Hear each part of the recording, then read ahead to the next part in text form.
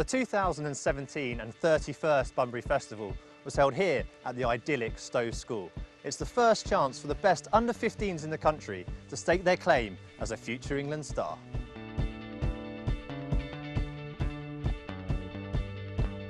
The reason I started the Bunbury Festival, Tom, is that they ran out of money.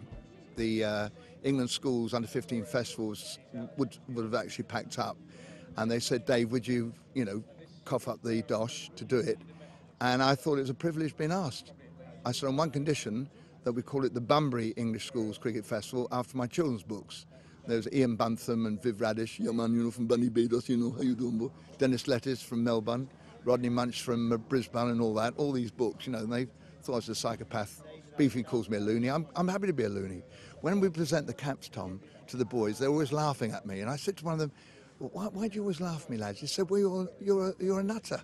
Said, that's great. I'm happy to be a nutter. The way they get in, Tom, is this. They play for their school team, their county, their region, then Bunbury Festival. So these boys here this week at Stowe are the 56 best cricketers aged under 15 in the country. But they've all done very well to get here. And one of the lads said to me, Dave, what happens if we don't do well at the Bunbury Festival? I said, it doesn't matter, because you've done well to get here. And what you must do, whatever got you here, carry on doing, because it's a festival. We're going to have some fun. It's the first national tournament, age group tournament. Um, there are schools tournaments, there are club tournaments, there are county tournaments, but not on a regional basis like this. So it, it's an attempt, the first stage is an attempt to get the best to play against the best. For me, this is a learning experience. It's the first time these players have probably been taken from their own counties um, and put together with the best of the rest from around the country. So, one where they sit within their own peer group. Um, we're obviously looking for long-term development as well. So, it's just a great opportunity to see how they fit into a, a group of players that they've never met before, um, what they can learn from the week, and, and how they progress. So, the opportunity for them to showcase what skills they have now.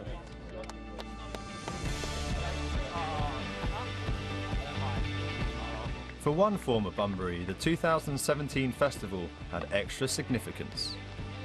I'm here as a parent rather than a pundit, which is um, a change and more of a nerve-wracking one. I'm not a good watcher. He's batting at the moment over my left shoulder, and he's got a few. So you relax when they've got a few. It's the first time that you're measuring yourself against your peers. Not that I didn't particularly think of it that way when I was 15. Um, but it's great fun. You're a week away from home. You're with your contemporaries. So you're starting to make friends across the regions and starting to kind of just have a look at who else is around. So in my year, Nasser was playing, Mark Ramprakash, Trevor Ward, has some good cricketers around, and you're starting to get competitive then by 15. You want to try and be the best you can be. I think it's the first time that the ECB start to take note of some players. So both the, all the games this week will be recorded and put on the ECB's database for scouts and coaches to look at and they're just starting to take notice of good players. But I don't think that it should be seen as the be all and end all. There'll be many good players who don't come through the Bunbury who go on and play first class cricket go on and play for England. There'll be late developers. There'll be lots of players who star at this age group who don't go on and make it. So by no means should it be seen as the be all and end all. But at the end of the day, this. It, some things never change. It's still down to the players themselves. You can't, you can help them you can't do it for them, and they have to be left at some stage to sink or swim. They have to make their own mistakes, learn from their own mistakes, and they have to do it themselves in the end. So, um, for me as a parent, that's why I try and stay out of the way most of the time.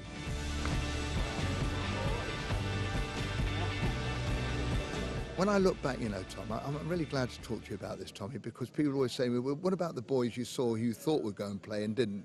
Sam Northeast of Kent, I'd have put my house on him playing for England. James Hildreth of Somerset.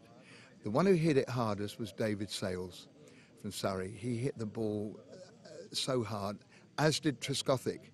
But Marcus Trescothick, that was 1991 at Bromsgrove, when we had Phil Neville, when Alex Ferguson came down and said, all right, son, because he's French, you know, Alex Ferguson. He said, Philip, and his dad's there, Neville Neville. That's great, isn't it? Imagine being called Neville Neville like been David Dave. He said, Now, son, are you going to pick cricket or football? And I said, Hang on, Mr. Ferguson, he's only 15.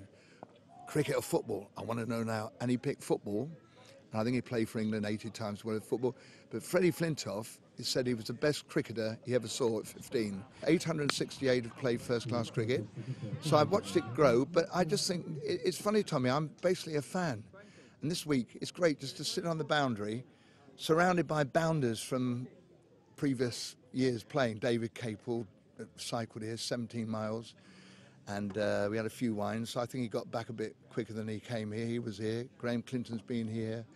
Uh, Les Lenham, Neil Lenham, and you have snatches of conversations with old Bunbury boys uh, who come back and see the young buns, which is, is fantastic.